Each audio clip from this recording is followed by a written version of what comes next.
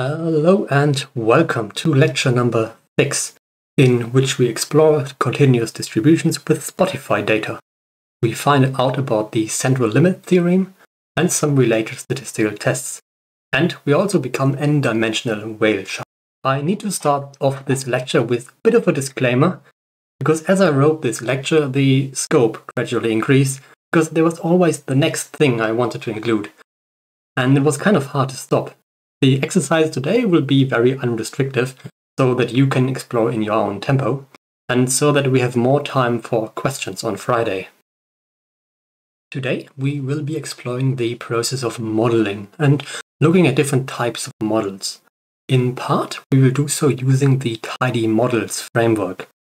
The Tidy Models framework extends the Tidyverse with specialized tools for all kinds of modeling tasks that fit in neatly with all the tools you already know. You can go ahead and install them using install packages and then tidy models. I'm not going to run this because I have already installed tidy models. At this point, you have installed quite a lot of packages as instructed by me. On one hand, this is great fun because the extent of what we can do and we can also make tedious tasks fun. On the other hand, every package that we add introduces what is called a dependency. If a user doesn't have the package installed, our analysis won't run for them. If we are feeling experimental and use functions from packages that are under active development and might change in the future, we will run into trouble when we update the package. But never updating anything ever again is no fun. I will show you how to get the best of both worlds all the packages and functions that your hearts desire, while maintaining complete reproducibility. Uh, this is to make sure that you can come back to your old projects two years from now and it still just runs as it did at that time. The solution for this is a package called renv or renv. The idea is as follows. Instead of installing all your packages into one place, where you can only have one version of a package at a time, Renv installs packages locally in your project folder. It, is, it also meticulously writes down the version numbers of all the packages you installed and keeps a cache, so it will not copy the same version twice. It's just a regular R package like any other, so we can install it using install packages renv. Again, I'm not going to run this because I have already installed. Uh, then in our RStudio project in the R console, we run renv colon colon init or initialize. Well, if I run this, it will tell me that I have already initialized it. So um, it will ask me what it should do. And instead, I'm just going to abort this part because uh, I have already done this. What you will want to do is just um, use yes and initialize it. What renv will do is it creates a file called .r profile and puts the line source renv activate r. R profile is a special file that automatically runs every time you start an R session in this folder. So it makes sure renv is active anytime you run anything in your folder. It also creates a folder called renv, and this is where it will install the packages to locally. The most important file here is the renv.lock file. If you have a look at it, it is just a plain text file with all the packages and even the exact R version. And also where this package was in from, installed from.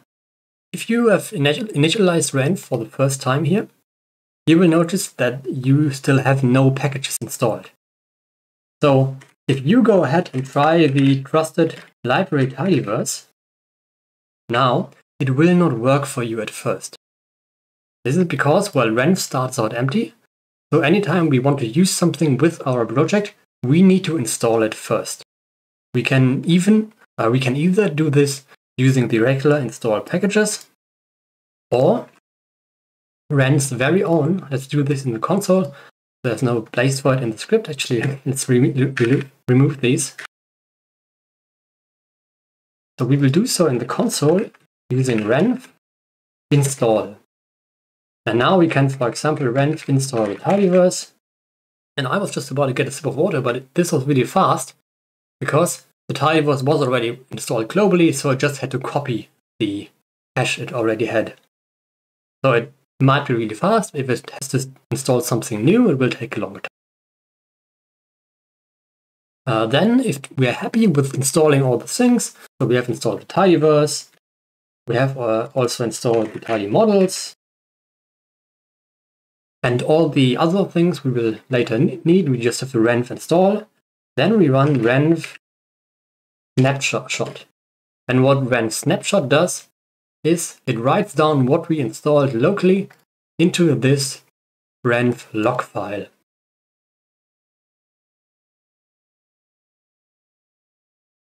It will ask for confirmation and I say, yep, I want to record these new packages that I installed in the log file and it wrote it down. And now if we come back later to this package or someone else um, gets this um, this project, so we send it to them to them and make sure it contains the log file.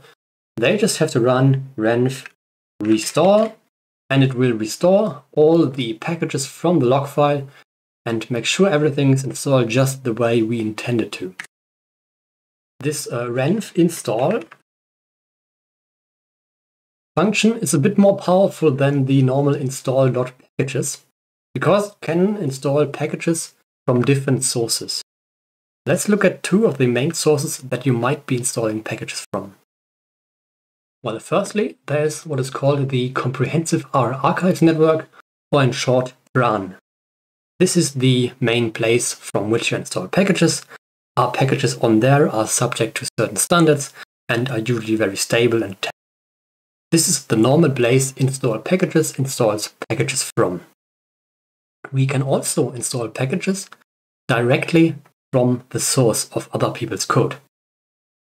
GitHub is a platform where people can upload code and track changes to it. So it's a bit like the word feature track, track changes, except specialized for code. A lot of times you can find the current development version of an R package or packages that are not yet on CRAN on GitHub. For example, this is the purrr package here, and it tells us if we want to install the development version, we can install it from GitHub using DevTools. However, if we have renv, we don't necessarily need DevTools. DevTools can also work with this, this syntax. So this will install the package version that is not yet on CRAN, we want to test out some features for it. And some, some other packages might never make it to CRAN because they're really, really tiny or very specialized. So they're just on GitHub. And you just make, need to make sure you trust the, the people that you install packages from. All models are wrong, but some are useful. Such goes the quote by statistician George Box. What this means is that any model is but a simplification of reality and must always omit details. No model can depict the complete underlying reality. However, models are useful, and to understand what they're useful for, we must first look at the different types of models out there. The Tidy Models book, which I will link to in the script and I really recommend it, we will be using parts of Tidy Models, while this book names three types of models, where any particular model can fall into multiple categories at once. A descriptive model is purely used to describe the underlying data and to make patterns easier to see. When we add a smoothing line to a ggplot with geom smooth, the default method is the so-called LOESS curve, which stands for Locally Estimated Scatterplot Smoothing. It does produce insights by revealing patterns to us, but by itself cannot be used to make, for example, predictions about the future. It is just a pretty looking smoothing line. Next up are inferential models. They are designed to test hypotheses and to make or to make decisions. They rely, they rely heavily on our assumptions about the data. For example, what probability distribution the populations follow and those will be most likely encountered by you to answer research questions. They are the models that typically produce p-values, which you can which you can compare to a threshold like we did last week. Uh, lastly, predictive models are designed to process the data we have and make predictions about some response variable upon receiving new data. When done correctly, we also hold out on some of the data that not, that our model never gets to see until it is time to evaluate and test how it performs on unseen data. Depending on how much we know or want to know about the underlying processes, we differentiate between mechanistic models, like fitting a physically meaningful function to data, and empirically driven models, which are mainly concerned with creating good predictions, no matter the underlying mechanism. We will now explore different examples, but first let me introduce our dataset for today. I created a playlist on Spotify, which is quite diverse, so we can look at a range of features. You can even listen to it if you want to while you do the exercises. I am doing so as I wrote this piece. The cool thing about Spotify is that they have an API, an application interface. APIs are ways for computer programs to talk to each other. So while we use the Spotify app, computer programs use the API to talk to the Spotify server. And because R has a rich ecosystem of packages, someone already wrote a package that allows R to talk to this API. It is called Spotify R, and you can find the link in the script. You check out the R folder for this lecture, which is lecture 6. You can find the script that I used to download the data and process it, so there are some less pitfalls in our data.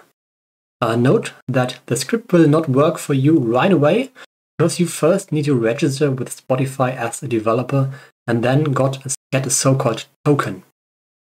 A token is like a username and a password in one long text to be allowed to send bots their way to download the data. For you, you probably just want to download the data from my GitHub repository the usual way, as we did in lecture 1. Let's have a look at the data, shall we?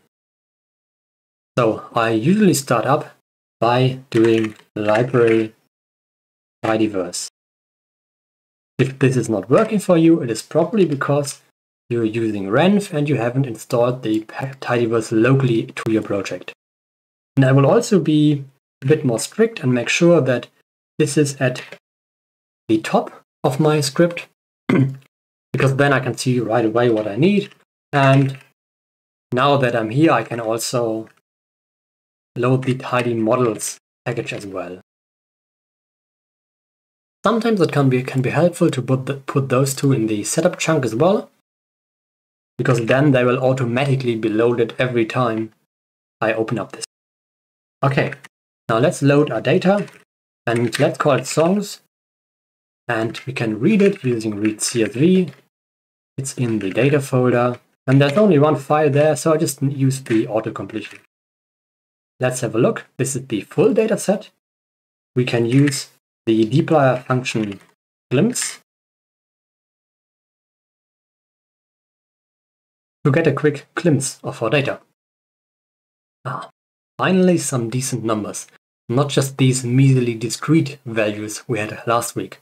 So for each song in the playlist, we get the artist, the year it arrived, and a number of features like how danceable it is, how loud or fast a song is.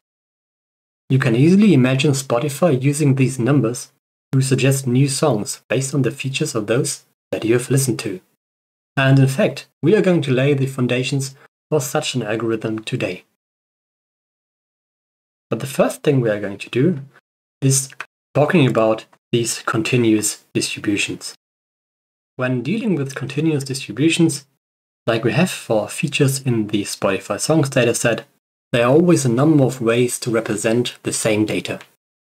First, you can just look at the numbers.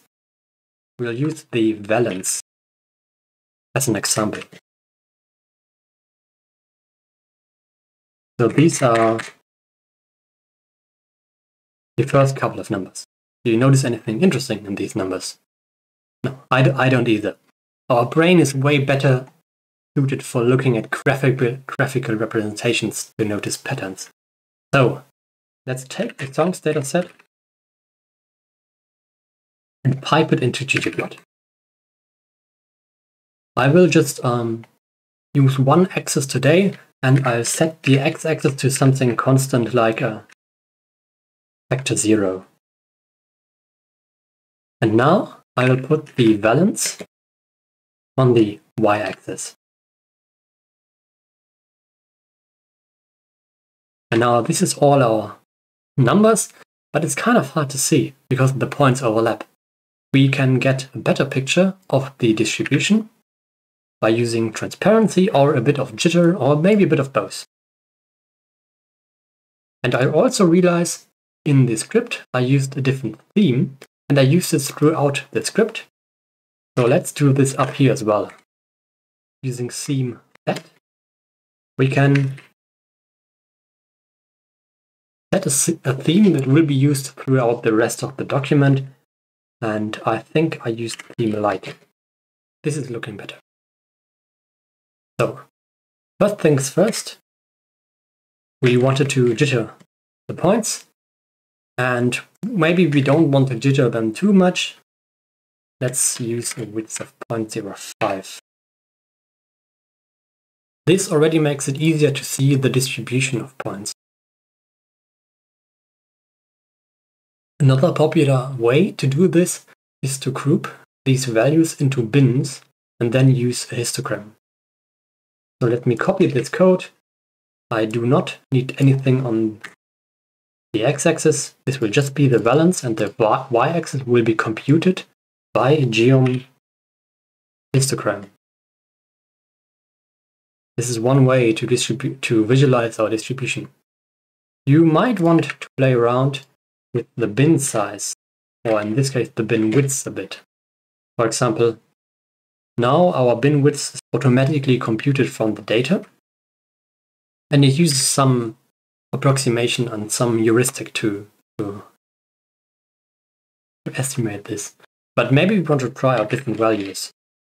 For example, 0.1 gets us larger bins, or 0.01 should get us smaller bins. This is something to consider when using histograms. The default choice might not always be the one that re reveals the most about your data. Another way to go about this is to take a continuous function and smoothly put it over our data. So what I will do here is just copy and paste this code. Instead of using histogram, I use density. And this applies the smoothing. And what I sometimes like to do is because this is a density function, the area underneath the curve actually has a meaning. It's the integral, so the area underneath there will be the actual probabilities we get when we work th with this probability density function. So I like to color it in. Let's um, use dark blue and some transparency. And I think this looks rather nice.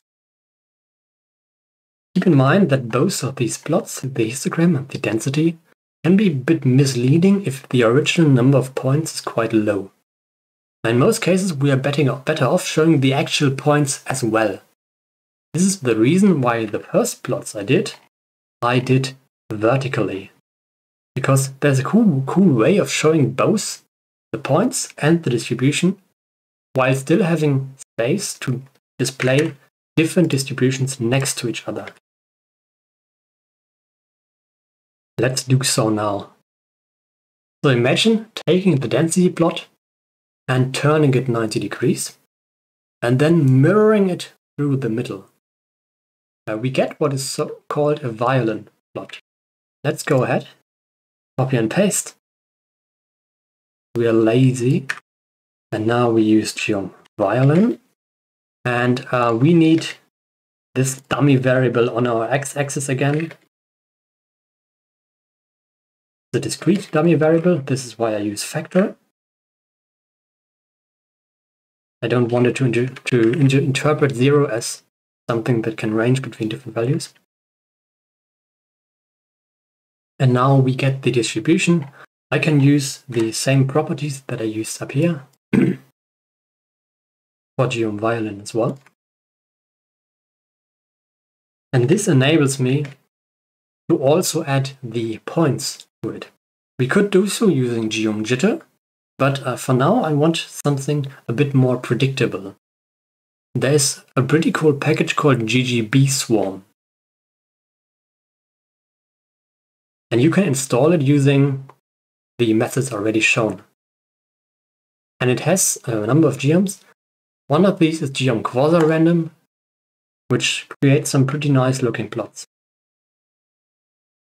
Let's also make the points a bit transparent in here. And now we have the distribution as well as the, the actual points and the way the actual points look like represents the distribution as well, which I think is a really cool way to show it. And this enables us to put more things on the x-axis. For example, let's say we want to know, to know if do songs in the major chord have a higher valence than songs in the minor chord in our dataset. So I may, maybe should have explained this, but the valence in here, this is how happy or sad a song is perceived by the algorithm. So a higher valence means the algorithm thinks this is a very happy song. And a low valence means the algorithm thinks this is a very sad song. Um, so high valence, happy, and low valence is angry or sad. And the mode, let's convert this to a factor as well. We look at the songs. The mode can be either 0 or 1, and the 0 means the minor chords, and 1 means the major chords. So for the German-speaking people out there is Moll and Dur. So 0 will be minor and 1 will be major chords. So our expectation would be that, well, major chords should be more happy. But there's something weird going on here because we have this large clump of things that are down with very low valence. There's one uh, note, the jittering in here only works because the features on the x-axis are discrete. If it were continuous values, we would be changing the data by jittering on the x-axis, so we wouldn't be really allowed to do this. You might also want to add, for example, the mean for each of these two distributions to the plot, and this leads us to the general concept of summary statistics. There's a number of them and they can be quite useful to, well, summarize complex distributions. But they can also be very misleading, as can any simplif simplification be. Let us start by considering different things we can say about our distribution in one number. First, we might look at the range of our numbers, the maximum and the minimum. We will do so per mode, so it should be these values in here. And we will do so using our trusted dplyr. Take the songs, we group by mode, and then we summarize. the maximum we just call max valence and the minimum we call we use min valence. And now we get the highest and lowest value for each mode. This is also called the range and there's a function for this called range. So for example the range of the full number of valence values is these two numbers, lowest and highest value. Next, we might want to know the centers of the points. There are different notions of what being at the center of a distribution means like. There is the mean, which is the average. So we take all the values, we add them together, and then divide by the number of values. And then there's the median, The median is what we call a quantile, a point that divides a distribution in equally sized parts. In the case of the median, it is the point such that 50% of values are below and 50% are above the median. If I just be lazy and copy and paste this, I can get the mean and the median in here for both things. And now it doesn't work because I should be better at copying and typing. And here we go. So the mean is about 0.4. So it should be about here. And a bit lower for the major mode.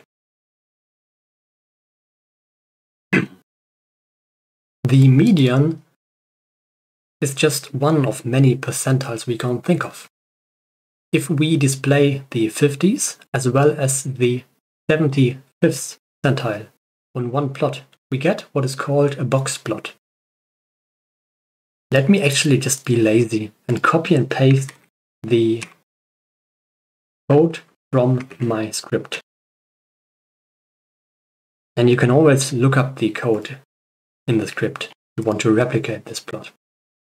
So the middle line in each box is the median of the distribution.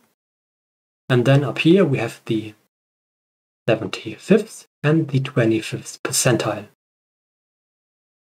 The whiskers of the, plot extend to 1.5 times the box size or at least the last data point, whichever makes smaller whiskers. Points that are more extreme than the whiskers are called outliers in this model and displayed as their own points. In the original data, there were no outliers, so I had to cheat and just add a row with an outlier. Do not do this with your actual data, please. Again, uh, there's one drawback. Because the box is a very prominent feature of a box, the main focus point, but by definition it only contains 50% of all the data points. The rest is delegated to thin whiskers. So when I'm doing box plots and I do have the space and it's not, it's not too it's not adding too much complexity, I like to add the raw numbers as well. So if I take the songs and use ggplot using the mode on the x-axis and on the y-axis I'm using the valence, I can add the GM box plot not GM, GM, GM box plot. But I can also add, for example, a geom, a geom uh, quasirandom that I used earlier. And now it's plotted on top of each other. In the script, I also made this colorful because I like color. In this case, I'm, I'm not doing it. Now, there's one thing to notice. If you have outliers, they will, of course, be in this quasi-random geom, but they will also be displayed in the box plot. So we, you will see them twice. Actually, if I copy the row that adds the outlier, you can see this. It's um, actually plotted twice, we're just not seeing it because it's right on top of each other. So what you will want to do in this case um, is set outlier color to NA but please only do so if you are actually plotting all the points, not just anytime you're doing a box plot. Finally, we want to know how far the values scatter around their means, and the potential population mean. This is encompassed by two closely related measures, the variance and the standard deviation. Let's jump over to the slides, because in here, what I did is I took all the values for the valence and just plotted them as points in the order they appear in the data, just to have any order. I also added a line for the mean, and the distance to the mean shown by a red line. The variance is the expected value of the square deviation of a random variable from its mean.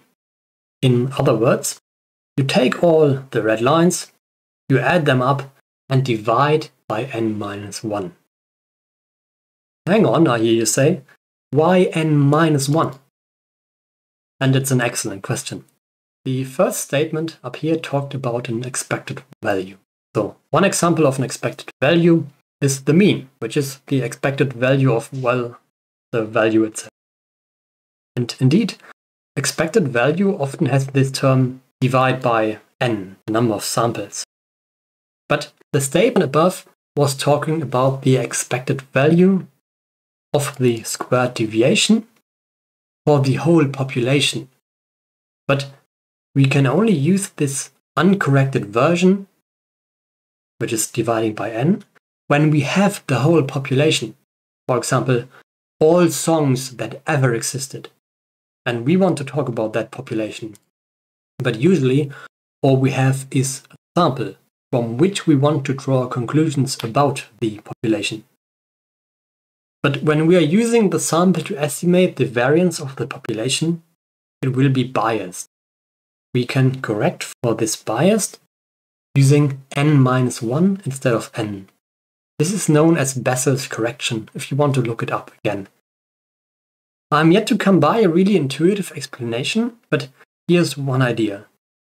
The thing we are dividing by, this n minus 1, is not necessarily the sample size anytime we try to calculate the expected value of an estimator. It just happens to be the sample size in a bunch of cases. What the term really represents here is the number of degrees of freedom of the deviations. So the deviations are the red lines. And degrees of freedoms can be thought of as the number of independent things. You have probably come by it in physical chemistry. The, the degrees of freedom are n reduced by 1 because if we know the mean and we use it in our calculations, this is the mean, so we must know it. Once we know all but one of the individual values, for example this one, and we know the mean, we automatically know this last value you can just calculate back from the formula for the mean. So one of our values is not allowed to count towards our degrees of freedom, so we must subtract 1. Okay, quite a mouthful. Next up, we have the standard deviation or sigma, which is the square root of the variance, which is nice because it undoes this squaring here, so we are back in the dimensions of our data.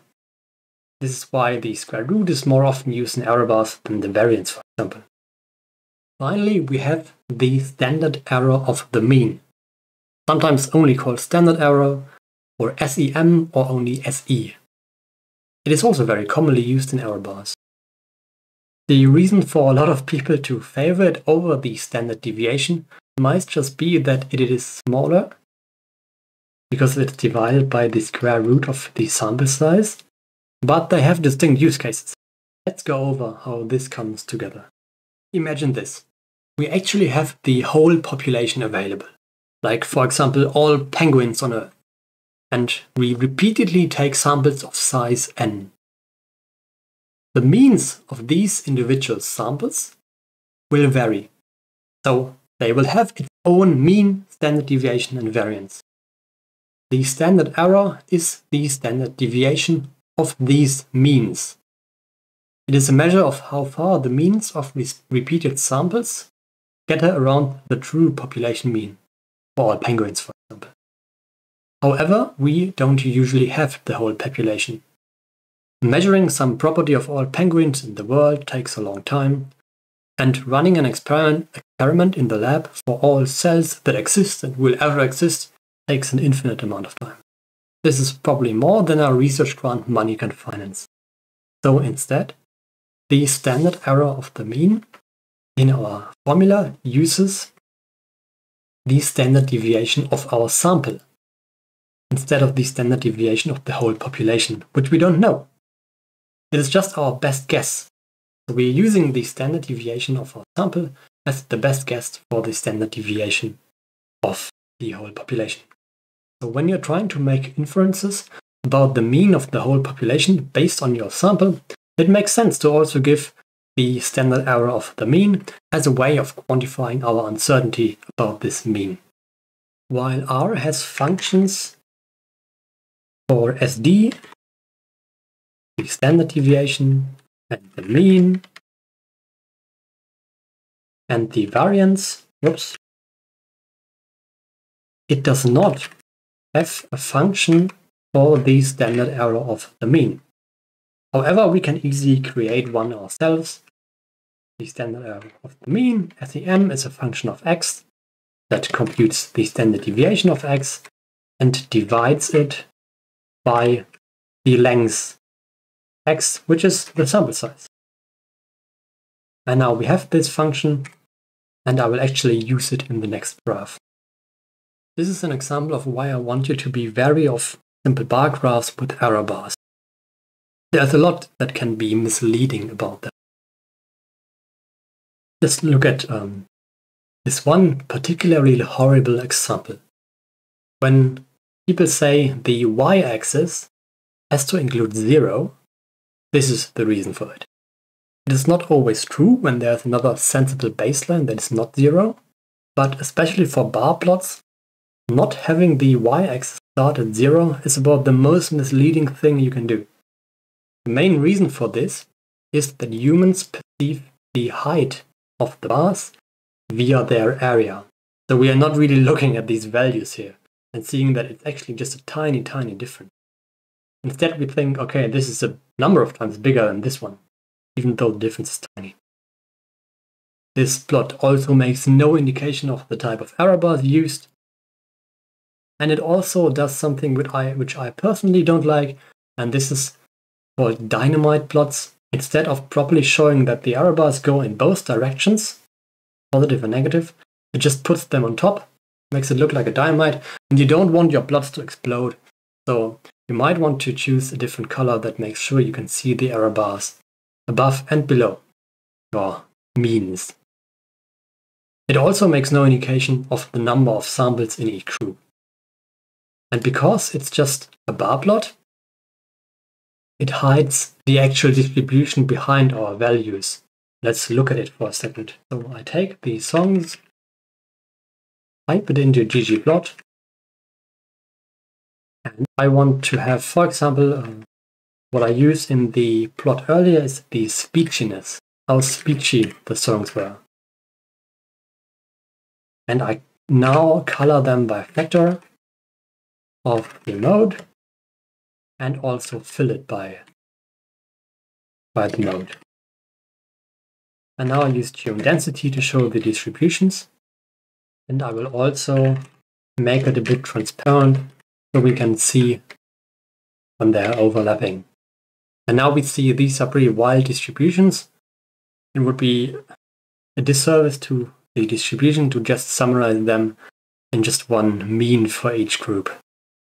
So the next time you see a bar plot, ask the question, are your summary statistics hiding something interesting?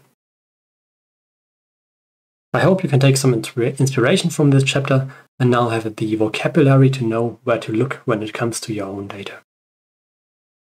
I had a lot of fun making the graphs for today's session. Naturally, there will be a couple of questions as to how they were done. There's two pointers I want to give you. The first being the ggplot book all things ggplot. The third edition of the ggplot book is currently being worked on by three absolute legends of their craft. Hadley Wickham is the author of the original ggplot and ggplot2.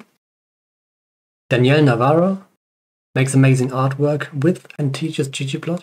And Thomas Lin Pedersen is the current maintainer of ggplot and constantly makes really cool features for it. The under development version of the book is already available online, and when it's released, you can also buy a paper version of it. Secondly, we need to briefly talk about a concept we have only brushed by. It is graphics devices. Graphics devices are to R what a printer is to your computer. When you create a plot in R, it starts out as mere numbers. Something has to turn these numbers into pixels. In the case of raster images, or vectors in the case of vector images. You might know SVG for scalable vector graphics or PF files.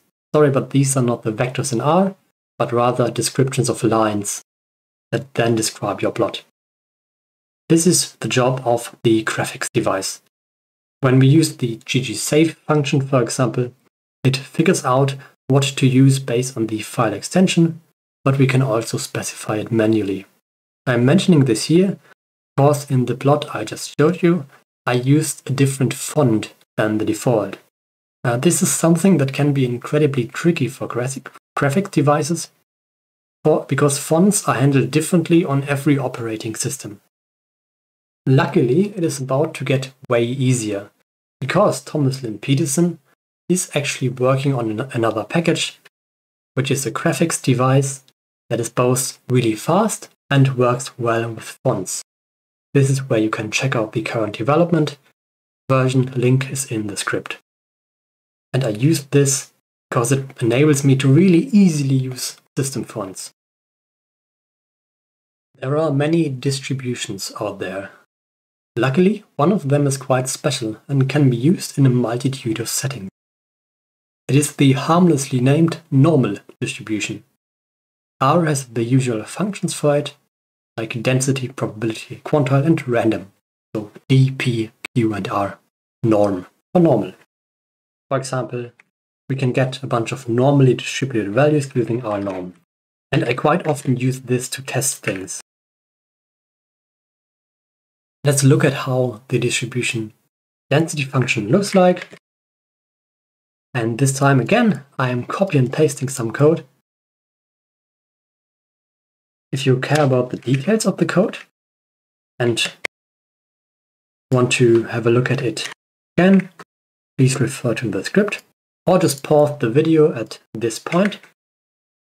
And I will also explain what the different new geoms in here do.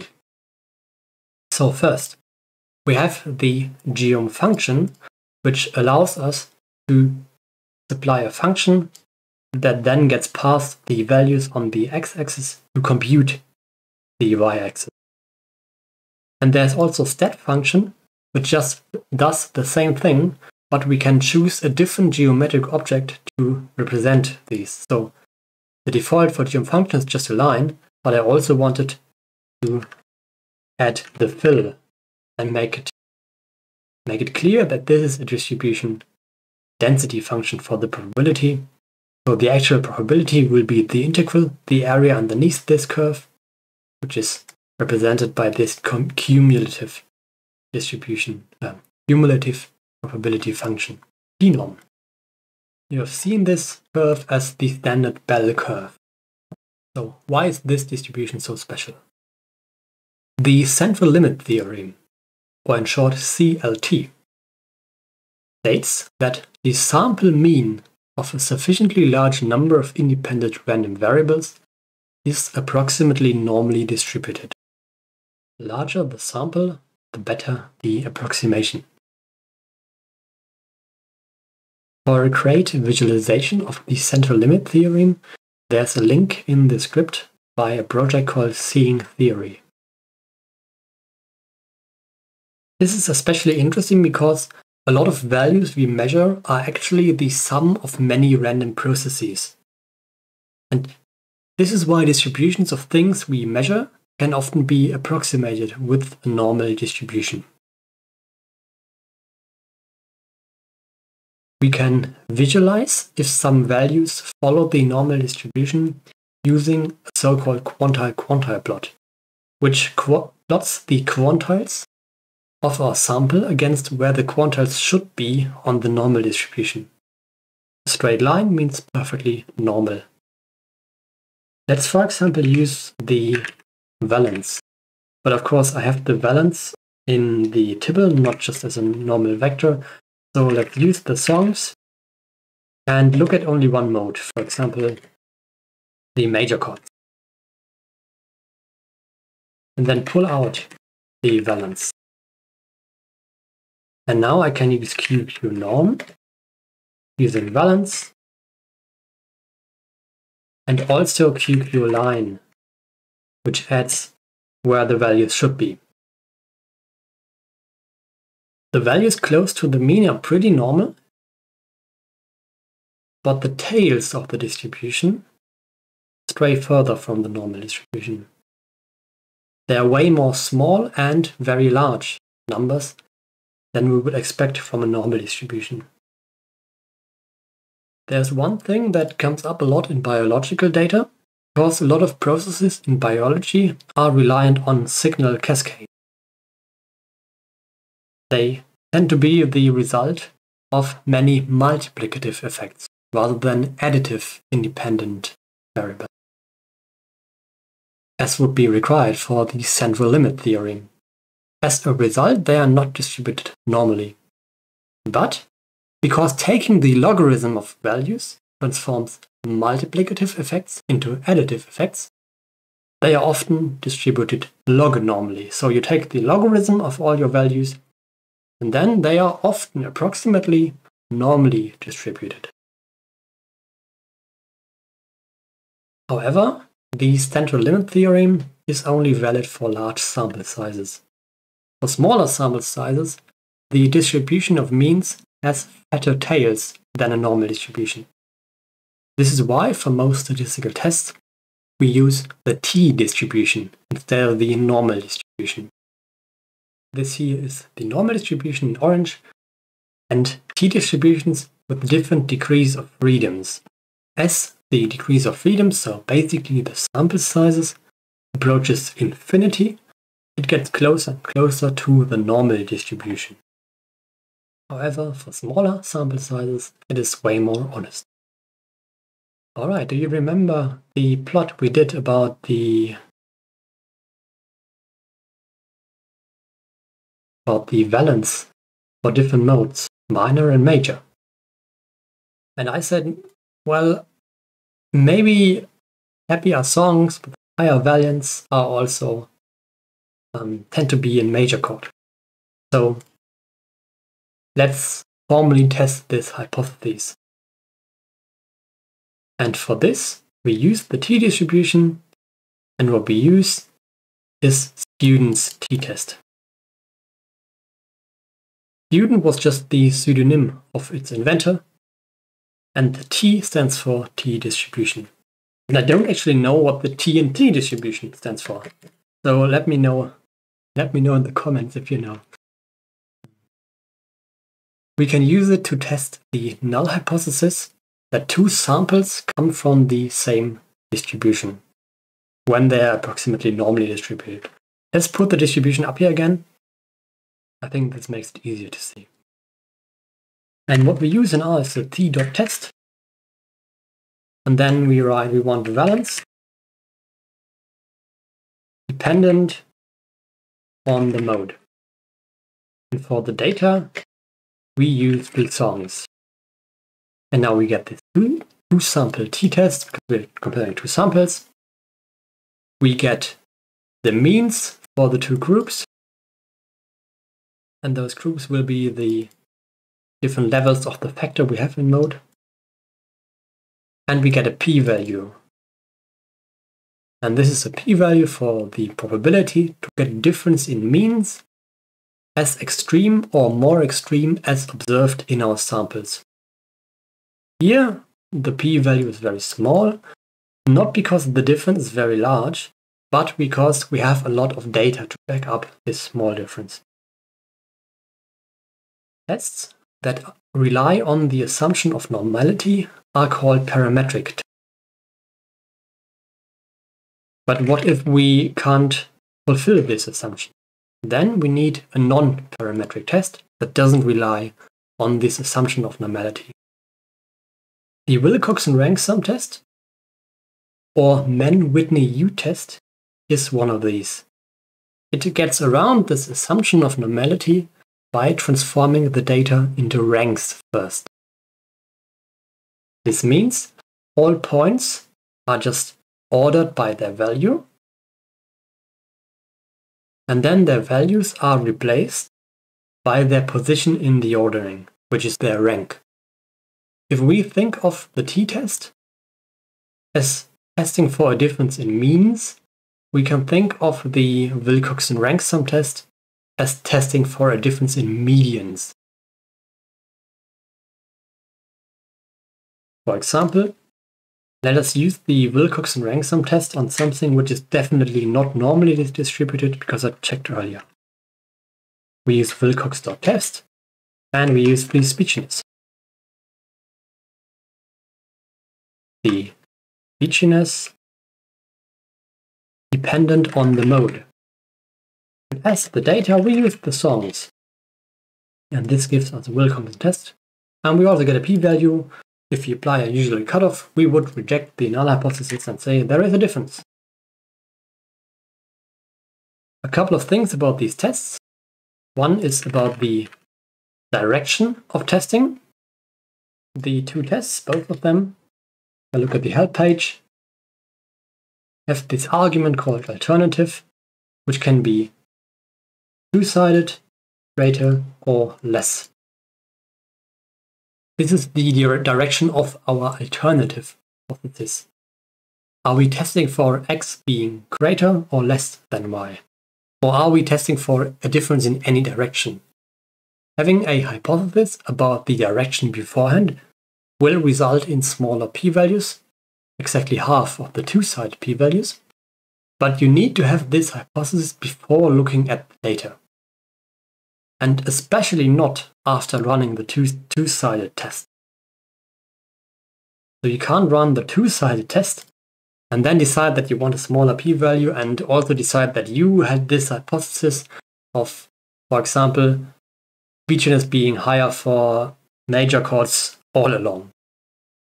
If you are not sure about the direction and which is supposed to be greater, for example, major and minor mode, because there it depends on the order of the levels in this mode factor, we can supply the values in a different way. Instead of giving it this formula interface, we can also give it x and y. So let's get the different vectors out as raw vectors. The speechiness for the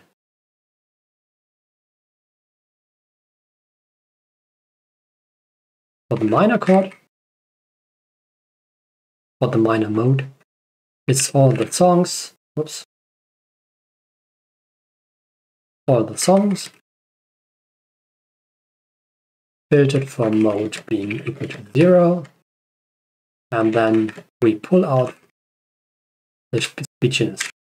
I copy this line so that I can get the same thing for the major mode. And then I'm lazy, so I use minor as the first argument and major as the second argument. And we can run this. Now the direction is clear um, because in here it says character specifying the hypothesis. So it will be x rather than two-sided by default, but when we say, uh, for example, alternative greater, it's for the hypothesis that minor mode has a greater speechiness. If we say lesser, oh no, just less, we get a really, really large p-value because the effect was exactly the opposite of what our hypothesis was.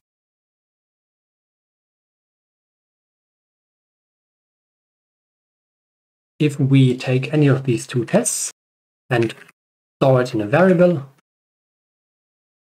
we can use this variable to explore the test further. For example, Internally, it is just a list from which we can get, for example, the p-value if we want to use this further. For confidence interval, I'm actually going back to the t-test because the t-test can also be used to compute so-called confidence interval. We use t.test on a lonely sample, for example, so we only have one group let's use the valence only for the minor chord in here and just run a t-test on it. I'm calling it test again.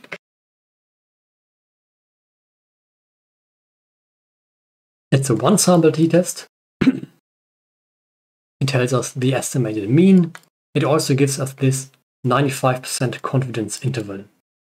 It is the range in which we would expect the mean of a sample to fall in 95% of cases when we repeat an experiment an infinite amount of times. These confidence intervals are also sometimes used as error bars in plots. We can get one out, for example, using confint. So the first, first element of this will be the lower one, second element of this will be the upper confidence interval, uh, the upper confidence limit. Lastly, for today, we are going a bit out of scope. We are leaving the realms of looking at individual features and trying to condense all this information into as little space as possible. We are crunching dimensions, dimensionality reduction, and we are using PCA, which is Principal Component Analysis.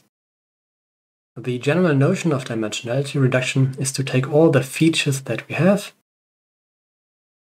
like speechiness, acousticness, instrumentalness, and so forth, and to find a representation of those that present those best without losing too much information. For example, when two features are highly correlated, which means one changes when the other does, like for example Let's take the loudness and the energy.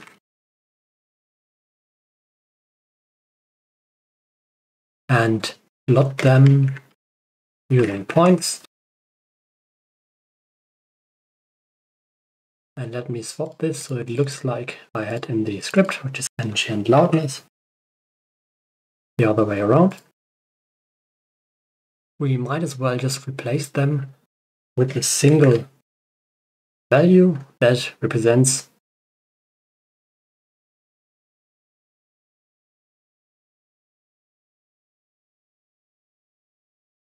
how far the value is along this line here. Because these values are so highly correlated, the loudness gets louder when the energy gets higher, for example. We don't necessarily need, need those features. What we want is this axis that goes through here and that explains most of the variance in the data. And the rest can be accounted for by the perpendicular axis that is perpendicular this line. And this is notably less important than the main line which goes through and explains most of the variance. Let's take this to another level. Imagine you are a whale shark. And you see this swarm of krill. So what you want to do is orientate your mouth, orientate your mouth in such a way that you can eat the greatest amount of shrimp possible. So what you will naturally do is find the axis which explains the most variation in the location of the krill. So this is very similar what happened here. And this is the first principal component.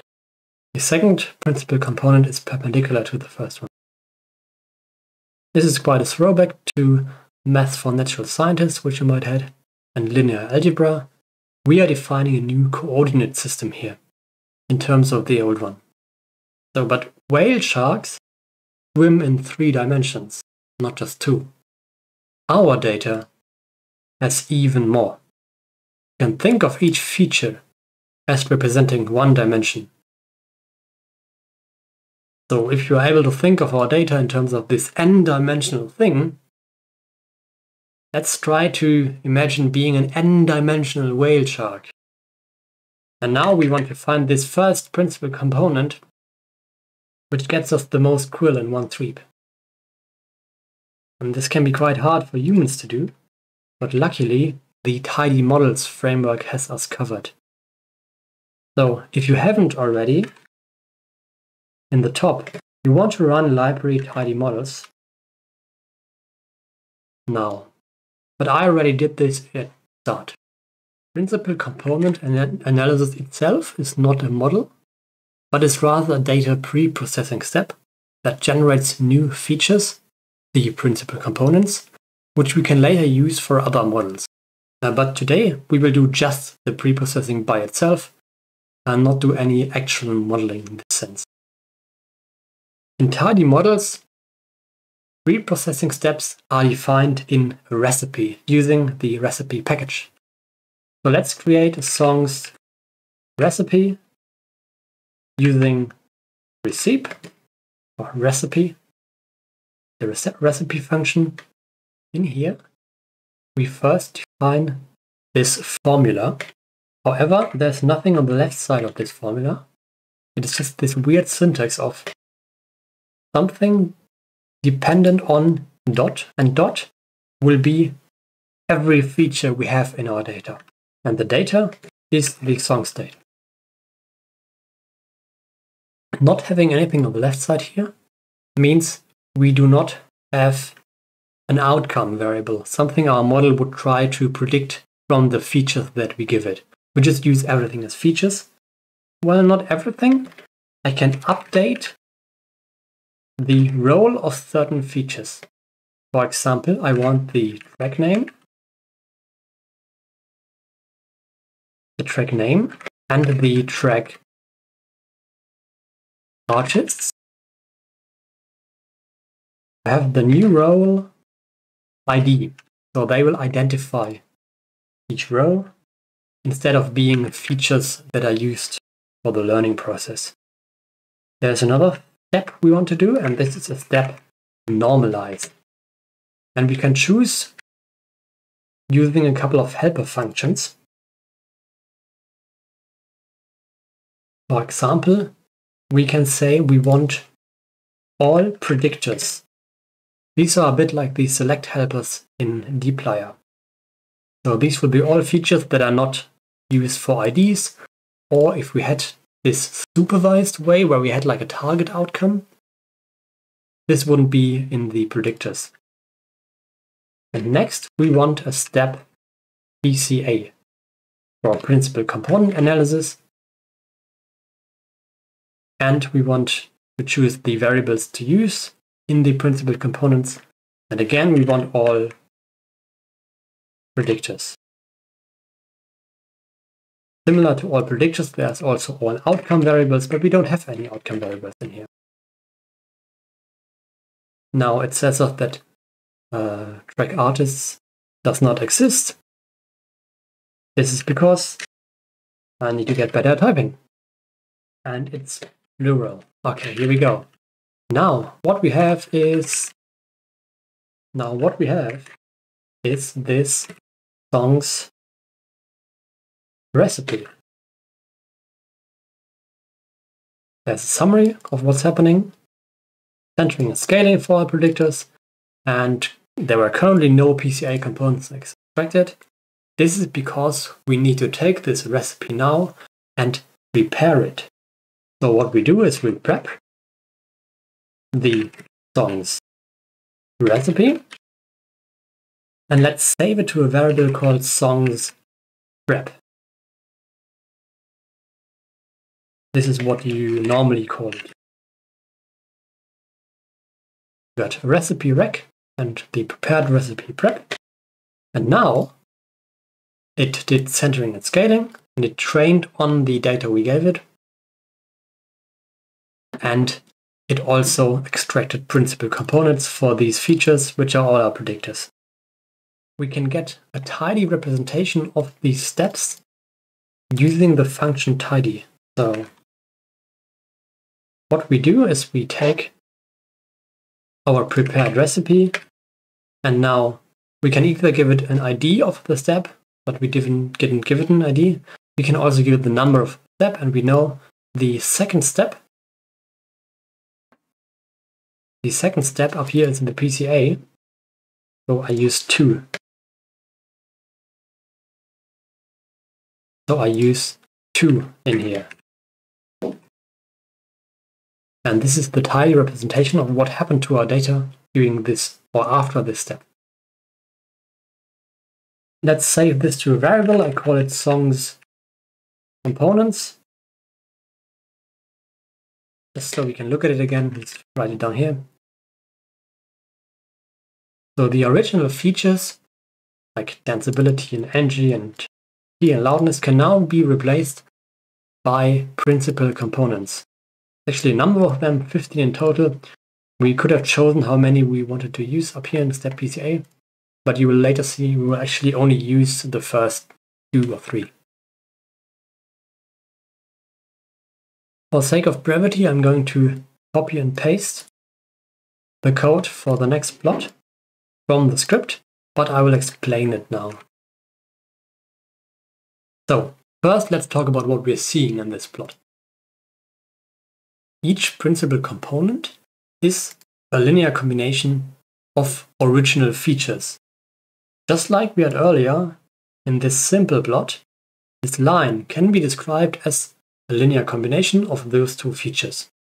So you can go back and forth between those two representations.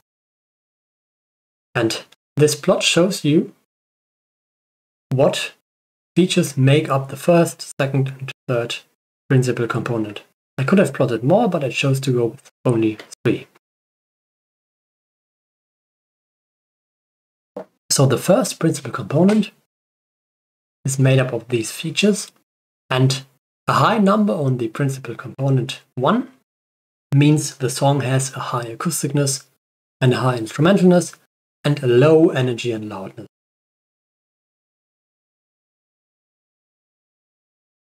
In order to get these plots to order the way they do now, I used a trick because the tidytext package has this function reorder within, which is nice for reordering columns within facets, which is normally quite tricky. So there's tidytext reorder within and tidytext scale y reordered. These two need to be used in combination to get these nicely ordered plots which is really, really nice for PCA plots. We can not only look at what features make up the components, but also how our data looks like in the new principal component space. So in terms of this simple representation, this would mean just taking this whole plot and turning it so that this line here becomes the new x-axis and the perpendicular line becomes the new y-axis except we're doing this in a bunch of dimensions, one dimension being one feature. So, in order to get our data, which is being prepared with these pre-processing steps, we need to bake the recipe. we take the prepared recipe and use the function bake using songs prep and now, because this workflow can be used for really advanced machine learning as well, and then you often have a training dataset that you use for training, and then a testing dataset that you hold out for later. Um, this can take this new data, which means you will train your pre-processing on your training data, and then you apply the same steps to your testing data as well. In this case, we don't have any testing data. We are using all our data just right away, which you wouldn't do for, for example, for machine learning. We're just exploring things here. So we set new data to null, which means it will just use the data that was used to calculate these components that was used in our preparation. So we're just getting the data back out, except now it will be transformed in these principal component base. So let's call it songs baked. And now we have it in a variable. And these features are now replaced with their principal components. So we can use these to plot them again. So let's take the baked songs And what I also want to do is I later want to um, want to show some labels. And I want these labels to have the track name and also the artist. So let's just call it song. And this is going to be paste of the track name. Then a comma. And then the track artist.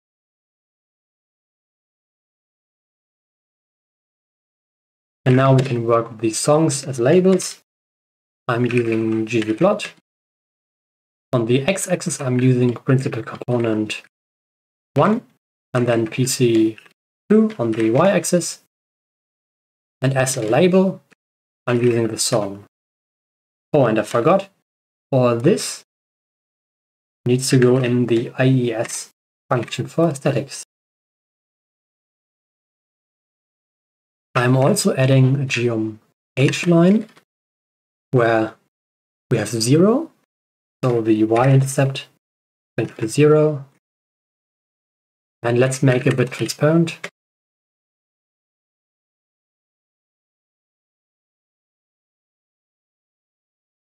Let me copy this line to also get a vertical line which has an x-intercept, not a y-intercept. And now I'm finally adding a geom point. Now you might wonder why I'm doing this, because geom point has no labels. It's kind of sad because we, now we can't see the songs.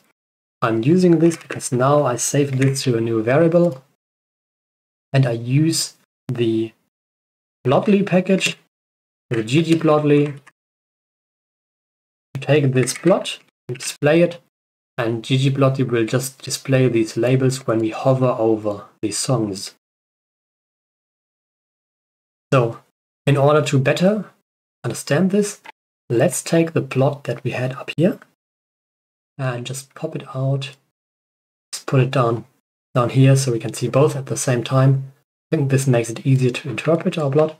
So now we have our songs in our principal component base so we did some fancy linear algebra here, except we didn't have to do it harder, which is kind of nice. And what we see, for example, principal, component 1, higher up on here means high acousticness, instrumentalness. And on here we see all these classical ones, for example, by Dvorak. Very acoustic, of course. Um, there's also some film music, for example, John Williams is in here more Dvorak. And on the other side, we have high energy and loudness, very loud songs. Um, La Familia from the Spider-Man the Spider-Verse soundtrack. And Take On Me from a-ha. Reckless Paradise by Billy Talent, of course, very loud and high, of, high energy. The valence also is a bit more angry than happy. Here. On the second axis, High on the PC2 means it's high tempo, which is We Will Never Forget by William Porter seems to be very, very fast. Uh, Rise Against, always very fast songs. Again, more Rise Against. Through Fire and Flames by DragonForce, also very fast song.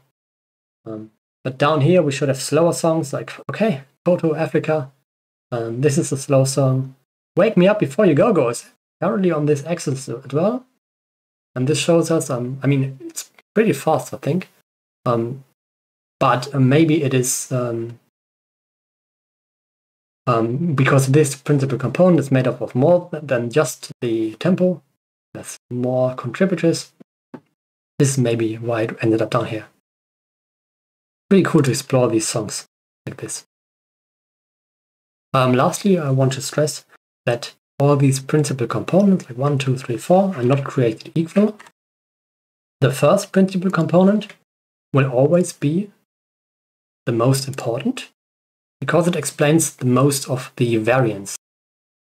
We can have a look at how much of the variance in our original data, our original features it explains, using a different, different kind of plot. For this, we need to explicitly look into this prepped recipe. Uh, let's look at these steps And I want only the second step, which is the principal component analysis. And we can further go down here. We want the results. And the results also have this standard deviation, which is how much of the standard deviation was explained by this component. And we can pre-process uh, this a bit more. Let's call it sdev. This is how much of the variation in the data was explained by the by first, second, third, and so forth component. We can turn this into um, a typically used representation, which is how much of the total variation in percent did it explain. Let's call it percent variation. We get this by using the sdev, varying it, and then dividing by the sum of sdev, so the total variation. And now we can use this and we can, let's pack it up in a table. The component is going to be all these, how many are these? 15? Um, let's uh, use the paste function here. And I'm using paste. Well, let's use paste. PC. And the number from 1 to 15. And then the percent variation, let's call it percent var.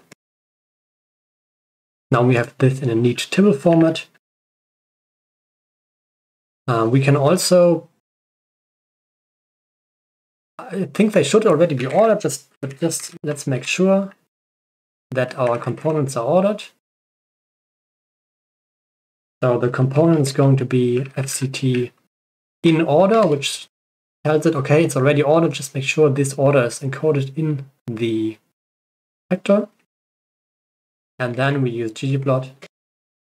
And on the x-axis, we put the component. On the y-axis, we put the percent variation, which we call percent var, and use geom col And there we go.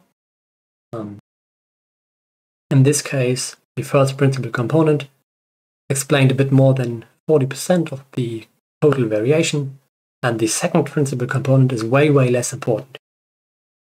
So keep this in mind when you interpret these plots, for example.